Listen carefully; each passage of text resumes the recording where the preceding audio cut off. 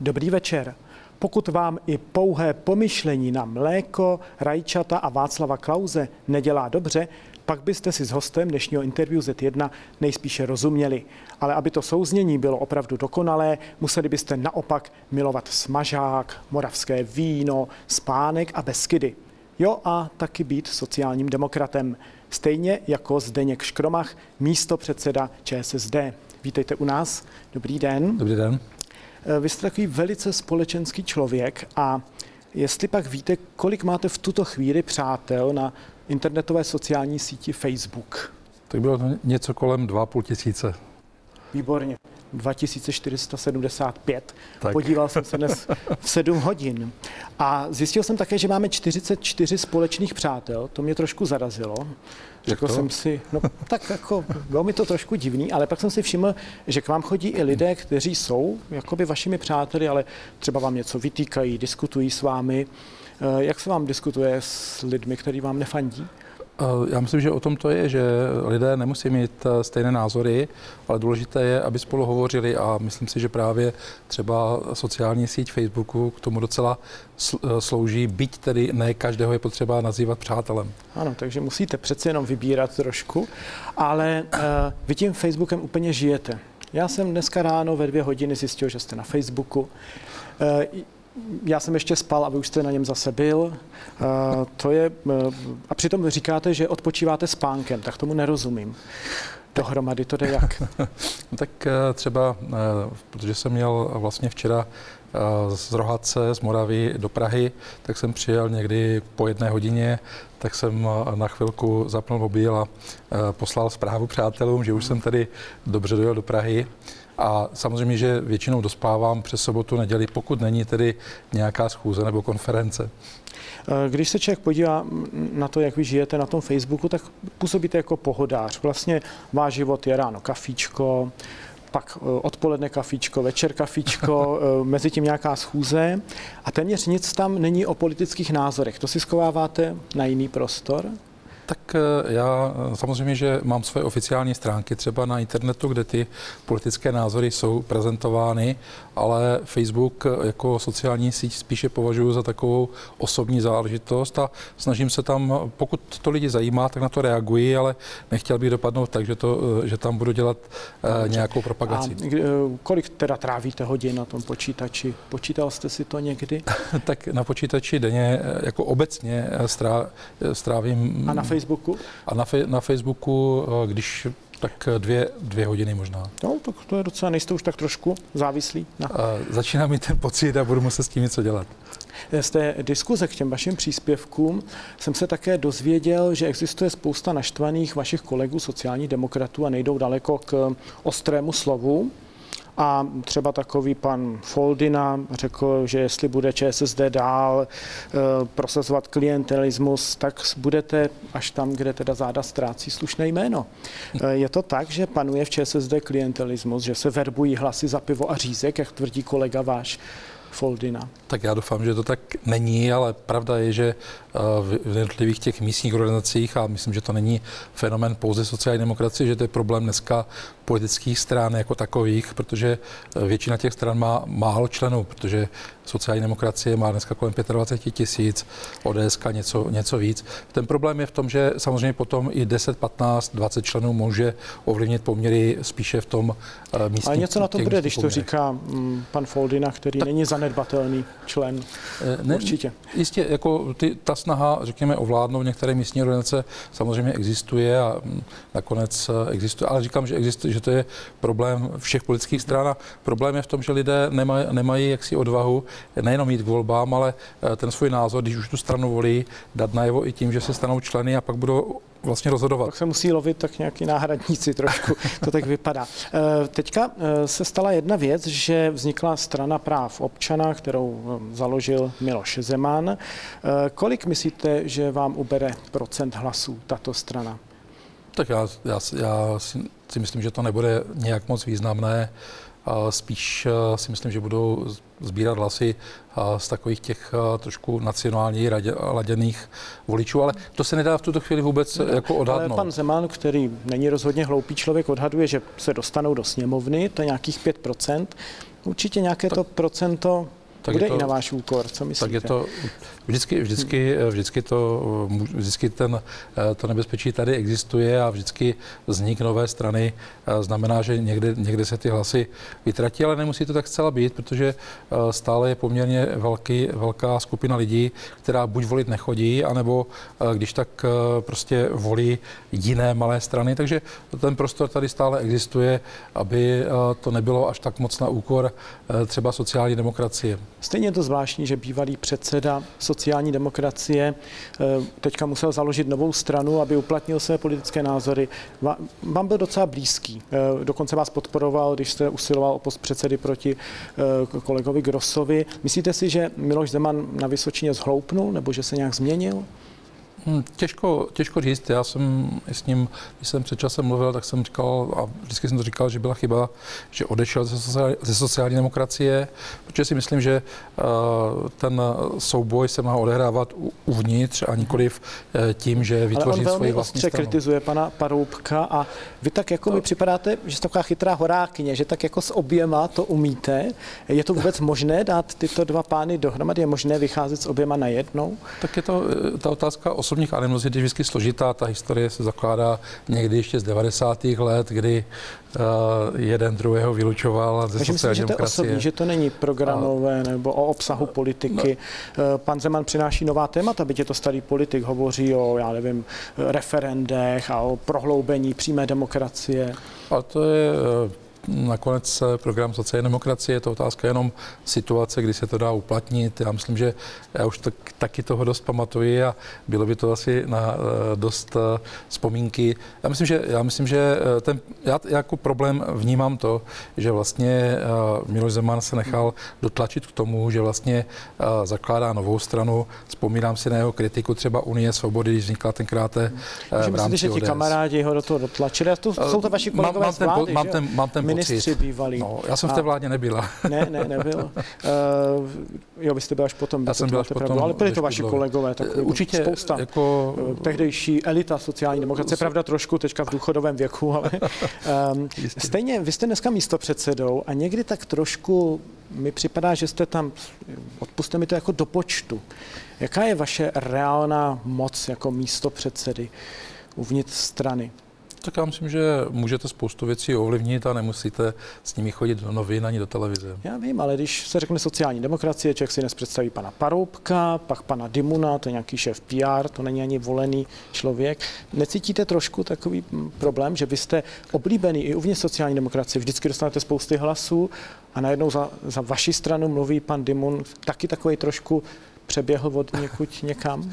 Tak pan Dimun je spíše Eh, jaksi eh, člověkem, který eh, přišel s předsedou Jirkou Paroubkem. Miloš Zeman měl své lidi, Vladimír Špidla taky, Standa Gross taky. Každý předseda vždycky má kolem sebe jakýsi tým lidí. No, ale víte, novinářům to posílá tento člověk. On je sociální demokracie. Tak jako... on, on, on je ten, který by měl ty informace zprostředkovávat, nikoliv eh, by je měl tvořit eh, od toho je politické vedení mm-hmm. strany. A já, já myslím, že když je potřeba, mm-hmm. tak mm-hmm.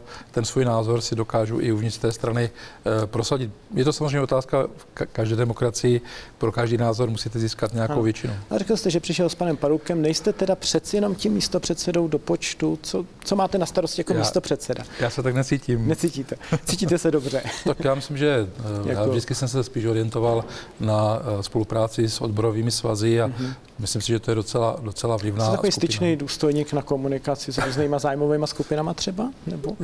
Já bych řekl spíše eh, se skupinama, které se pohybují v oblasti zaměstnanosti, mm-hmm. sociálních věcí, třeba organizace zdravotně postižených eh, nebo poskytovatele sociálních služeb a podobně. To jsou, to jsou, to jsou věci, které je potřeba komunikovat. A je... Vy velmi často, i jiné partie, ale vy často schůzujete. Eh, dáváte tam vždycky pozor na tom vedení ČSSD, Jak se tř... dáváte tam pozor, že jo? Asi mě Dávám, ale, ale v horoskopu mám, že jsem schopen během eh, činnosti eh, dělat více věcí zároveň. Tak nevím, co jste dělal, když se, eh, když se mluvilo o té výjimce z Lizabonské smlouvy, protože mi teď připadá, že se jakoby všichni divíte, co ta vláda domluvila, že to není jenom majetkové, ale že jsou to i sociální no, vymoženosti, sam... kterých jakoby jsme se tou výjimkou zbavili. No samozřejmě, protože do poslední chvíle, než přišla informace, že se vypouští celá charta, uh-huh. tak ta informace byla víceméně, když to řeknu, irské řešení, čili usnesení Evropské rady, které eh, podobně, přirovnal bych to v podstatě řešení mm-hmm. Fico, Slovensko. To bylo to, co jsme měli v představě. No, pan premiér a, jako říká, že vám to říkal, tak ale pan si říkám, premiér, jestli vám to třeba někdo nezatajil na, na, na té schůzi. Tak já, já doufám, že ne, protože ta informace byla mm-hmm. konzistentní mm-hmm. v tom, že se to bude týkat pouze toho jednoho ustanovení, které se týká majetkových práv a že k tomu mm-hmm. bude určité vyjádření. Mm-hmm. Nakonec eh, to, co bylo prosazeno, eh, je otázka, jestli vůbec bude realizováno, protože no právě, takže ještě to bude všechno věcí, může být jinak. věcí budoucí vlády. Máme teďka 20. výročí eh, sametové revoluce. Kdyby někdo navrhl uvnitř ČSSD, že se zruší Bohumínský sjezd, který zakazuje spolupráci s komunisty, jak byste hlasoval? Já, protože jsem byl, byl v komunistické straně, tak vím, proč budu proti. Znáte nepřítele zevnitř. tak. No ale pan hejtman rád nebyl, tak je asi tak dobře nezná a říká, že je na ně spolehnutí a že se s nimi dobře vládne. Eh, souhlasíte s tím, že je na komunisty spolehnutí? Tak, eh, já tu zkušenost nemám a zatím, pokud vím, tak eh, většinou spíše hledali způsob, jak nás spíše se k nám, vůči nám vyhránit. Nechci říct, že nás podrazili, ale, ale když nakonec vzpomínáte Lisabonskou smlouvu, tak senátoři ODS a komunistů mhm. vlastně podávali stížnost, čili... Jestli byste neměl jako starší zkušený sociální demokrat a zkušený i člen strany varovat pana Ráta, aby si dal pozor. No. Tak uh, jako Pomohlo on, by to? Já beru spíš to, že hovořil o své zkušenosti eh, z krajského vládnutí, to no, je jeho kraje, věc. No, ale, není, je to vaše věc, je to vaše ale, strana. Ale máme, Dělá vám máme 13 krajů, kde máme hitmany a vládneme I s tou ODSkou, i s, kterou ODSkou, i s Lidovci, i s dalšími, takže... Je to pravda nebo není? Řekněte mi tady, že jste řekl nebo neřekl o panu Rátovi, že to je malý český hajder a střední Čechy budou jeho korutany. Já si nejsem vědom to, že, že bych to takhle řekl expresivně. Možná uh, jak si bujná fantazie novinářů. Takže komunisté se do vlády... Spíš, spíš eh, vychází z nějakých mých dřívějších vyjádření, které si možná takhle skompilovali. no. Je třeba radši méně se vyjadřovat, že jo? to eh, zase, Takže nemůžeme se bát, že by přes sociální demokracii prošlo, že by se komunisté dostali do vlády, pokud vy budete mít na to nějaký vliv. Tak když se podíváte historicky, tak vždycky sociální demokracie, a to bylo i v knížkách, které nás učili ještě eh, na školách, tak eh, sociální demokracie byla největší nepřítelem Dobře, eh, komunistům. Takže to, to mě stačí. Víte, mně připadá i těch 20 let, které jsme teď prožili, že roste míra neslušnosti mezi politiky. Vy by připadáte jako takový slušný politik, ale tuhle jste řekl, že ODS, jejich souputníci, lidovci a zelení by měli konečně držet no musím to říct, hubu. Není to příliš už, eh, nekazí se tím ta naše scéna, když se použije takové expresivní výrazy? Tak já myslím, že tohle ještě v rámci, řekněme, přijatelnosti. Huba ještě dobrá. Jako... tak eh, jako slyšel jsem horší výrazy, viděl to jsem zdvižené prostředníčky a podobně. No, já se teď tam na vás, a, jakoby, a tak dále. Já, já, já, myslím, že jsem tam od čas do času je potřeba použít jakousi zkratku i třeba, řekněme, expresivnější vyjádření. Vyjadřoval jsem se třeba i o vzniku některých nových politických stran, že to mhm. jsou vlastně nové nevěsty vestinci se starýma děvčatama například, no. ale to je, to je spíš o, v tom, že... Radši ty přirovnání opustíme, to bychom se e, zapletli. Jak byste nazval třeba mě? Vás? Mě? Já nevím, tak uh, mně připadáte jako člověk, který něco umí, zná a dokonce, to je, od vás dokonce je docela... Čili dost... kdyby vám někdo řekl, že jsem taková spíš kuriozita, Kuriozita, proč myslíte? No, tak to řekl váš pan předseda tak, o mě. Tak já jsem vás potkal už při různých příležitostech ano, takže, v tom životě, takže... Já mám trošku pocit, jestli pan předseda někdy jako nemá trošku problém třeba s odlišnými lidmi, nejde jenom o mě, on třeba řekl, ehm, připadá vám, že ten a ten vypadá, jako kdyby utekl z Jedličkova ústavu. Vy tak. máte zkušenosti s postiženými a neměl byste také, když už jsem říkal promluvit do duše panu Rátovi, taky panu předsedovi. Trošku. Tak to samozřejmě dělám. Otázka je, nakolik je to účinné a pravda je, že někdy člověku utečou slova, které by by ani říct neměl nebo nechtěl, ale je to otázka, otázka situace a myslím si, že vzhledem k tomu, že se v těchto věcech pohybuju častěji, tak já si to třeba, ne, jako bych si asi, ani by mi to nepřišlo na mysli, že jo, ale možná, že jsou lidi, kteří se tím tak nezabývají a neuvědomí si vůbec, co... A možná, že mu to někdo napsal, srovnání. právě to PR oddělení, víte? Tak to, a to, je, tolik textů, které vyjdou. To je ta, to je ta horší varianta. jo. A, mluvili jsme o těch zdravotně postižených. Vy se jim věnujete léta. Nikdy vás třeba, když jste byl jako minister, nenapadlo, že ten celý systém těch invalidních důchodů je takový svým způsobem nemravný, že jako demotivuje ty postižené. Nechci nějakou obsáhlou přednášku, ale si vás nikdy nenapadlo zásadně to celé přeorat a změnit. Tak eh, přece víte, že i za mého působení ještě na ministerstvu došlo k výrazným změnám a to je vlastně podpora zaměstnanosti, to je zároveň i změna celého systému vlastně sociálních služeb, kdy vlastně se to přenáší. No i ten název invalidní, vy víte asi, co znamená, že jo? Je, je to jakoby Myslím si, že to už určitý artefakt z minulosti, že jo? a je, je dobré asi zřejmě hovořit seriózně o tom, jak ten systém nastavit tak, aby jednak nepoškodil ty, kteří to skutečně potřebují, a na druhé Protože straně pomohl. Těm uh, lidem na invalidních důchodech se jak si nevyplatí moc pracovat, bojí se, že přijdou o ty důchody. Tak, tak eh, filozofie taková. Tak je to, je to víte, ten problém někdy spíš, protože jsem zažil spousty případů, kdy si lidé stěžují, kdy mají jiné představy. Je to věc odbo- zase zase těch posudkových lékařů mnohdy, kteří eh, posuzují ten stav a eh, politik, když do toho potom vstupuje, tak je příliš subjektivní. Že jo? Ale každopádně myslím si, že je nastartována dobře ta změna a že eh, je potřeba v tom pokračovat. Ale tam si myslím, že by měl být ten dialog širší, že by to nemělo být tady ODS, sociální dobře. demokracie a že by se mělo hledat prostě řešení, které bude systémově pro, právě pro lidi se zdravotním postižením. Výborně, budu se na to těšit. Co říkáte kauze plzeňských práv? Tak Dneska se to řešili ve sněmovně, byl jste za komisi, která to bude vyšetřovat, ale poslanci, když něco vyšetřují, to nebývá. Jako, ty komise nikdy moc ne, nic nevytrhly, na druhé straně je dobré, když tam jakýsi mm-hmm. dohled bude, ale, mm-hmm. ale činit by měly příslušné orgány, které zodpovídají, protože to, tam nejde ani o, ten, o to, co se stalo, což si myslím, že je docela velký průšvih, ale protože to znevěrohodňuje vlastně eh, celý ten systém vysokého školství, obzvláště ano. těch eh, univerzit, které nemají takovou tradici, třeba jako Karlova univerzita. Vy máte také vysokoškolský titul, jste inženýr. Já jsem nějak měl potíž najít, od kdy do kdy jste studoval. Tak pojďme si to projet, je to teďka aktuální. Vy jste končil nějak v 90. letech studium a dělal jste to při zaměstnání. Ano, dělal jsem to při zaměstnání Ko, tak 6 kolik? let. 6 let 6 let. Tak to proto není mě, proto mě osobně štve, když někdo udělá vysokou za 14 dní nebo za 3 měsíce. A napsal jste nějakou diplomovou práci tak Samozřejmě. Vzpomenete si, jak se jmenovala? O, byl to eh, elektromotor. Konstrukce silnoproudého motoru, tak. to vím, ale víte, co nevím, kdo vám vedl tu práci? Tak to, to řeknu popravdě, že už za těch 30 let už si taky no. nepamatuju, ale našel bych určitě index, kde 30 ty jména mám. Let, tak v 90. 20. No, je to 20, 20 let, no. no. To víte, ne já, ale nějaký novinář by mohl říct, že byste si to měl pamatovat. No, ne, není tak. to někdy úplně uh, já, s tím mám, já s těmi jmény jako mám, mám vždycky problém, ale vždycky, když, když je potřeba, tak si ho mm-hmm. samozřejmě to jméno najdu, to není mm-hmm. problém. Tenkrát to ani ne, myslím si, že tyhle ty možnosti nebyly.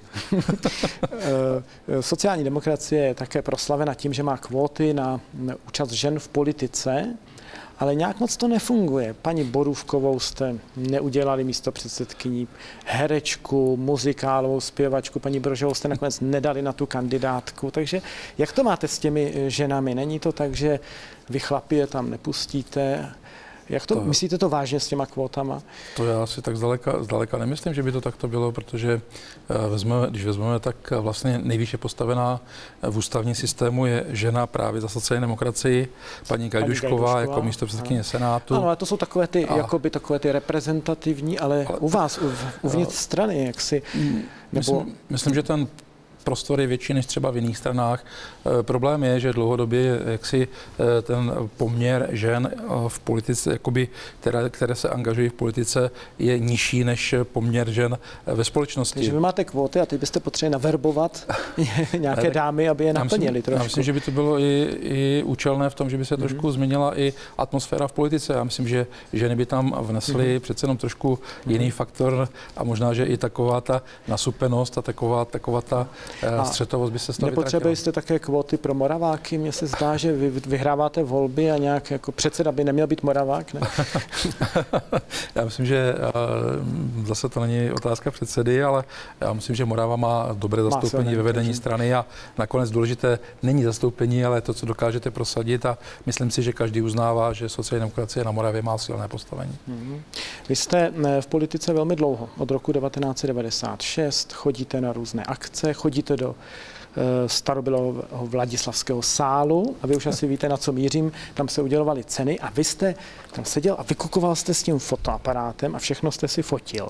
Nikdo vás neokřikl, že jako tam uh, rušíte třeba? Tak já myslím, že jako jsem nic nerušil, ale eh, zase na druhé straně je dobré mít eh, třeba i ten pohled eh, toho účastníka, protože to už většinou lidé nevidí. Vy to pak vystavíte na Facebooku? Na Facebooku. Hmm. Je, to, je to takový ten pohled účastníka, který většinou se do médií nedostane, většinou je to to pozlátko, které je vidět. Ale jestli se médií. nebudou bát vaši partneři političtí, že prostě najednou z ničeho nic vyuknete s foťákem a někde je zvětšníte? Ale to dneska máte kdekoliv, když půjdete s přítelky přítelkyni eh, do hospody, aby o tom vaše manželka nevěděla, tak vás tam kdokoliv může vyfotit. Jste známá no, ne, tvář. Ne, každý to umí tak třeba dobře použít. Vy byste nakonec, až skončíte v politice, to mohl prodat bulváru. Za kolik byste prodal bulváru? Pan Paroubek prodává teď za 200 tisíc? No, já myslím, to, to mě trošku uh, překvapilo. Já, já si myslím, že, uh, vás že tyhle informace se nemají prodávat, že hmm. i když to je určeno třeba na bohulibý účel, třeba dobročinnosti, takže bychom měli spíš poskytovat objektivní informaci, hmm. ale na druhé straně jako uh, ta informace by měla být i svým způsobem pozitivní, takže, takže ale spíš, spíš si dělám tako, takovo, takové fotoalbum, až jednou začnu psát paměti. Já mám nápad, co kdybychom ho rozšířili. Máte foťáček s sebou tady v kapsičce? Uh, ne, dá se Ale já mám, asistenci. já mám. Co kdybychom teďka se na závěr vyfotili, jak vám takhle opatrně přejdu. Jo. Uh, vy jste zkušený fotograf. Jestli to dáte takhle před nás a stačí tady, že to hmm. zmáčknete. Takhle, jo. Ano. Radši ještě jednou? Radši ještě jednou a já mezi tím řeknu eh, divákům, že to byl poslanec místo předseda ČSSD, pan Zdeněk Škromach. Děkuji, že jste přišel. Děkuji. A mým zítřejším hostem bude docent medicíny a také kazatel, pan doktor Zdeněk Susa. Hezký večer. Nastanou.